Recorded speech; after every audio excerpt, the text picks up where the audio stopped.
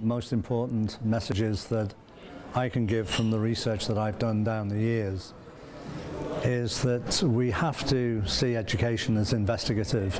It's not just a curriculum that we receive and impart, it's more about how we engage with issues of our time. So whether those are historical issues or social issues, political issues, the very act of education to me is questioning.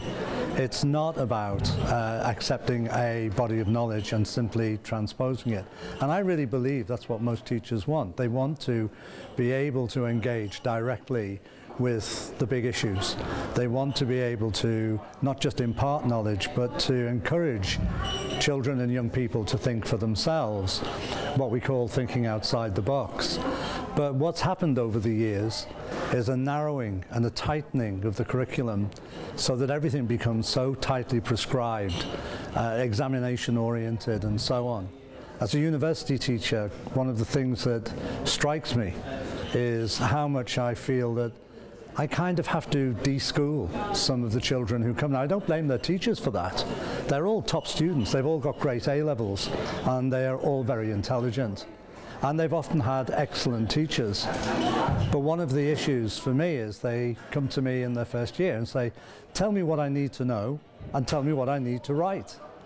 And I'm saying, I want you to think for yourself. I want you to interpret from your readings and from your work uh, your version of events, even if I disagree with it. If it's a good, strong, qualitative argument that I disagree with, that it doesn't necessarily chime with the textbooks, you'll still get a good mark because you're thinking for yourself, you're expressing yourself, and you're developing your own body of knowledge. So for me, it's about deinstitutionalizing knowledge and ensuring that we always have in our children, our young people, our students, we always have a part to play in the development of an inquiring mind.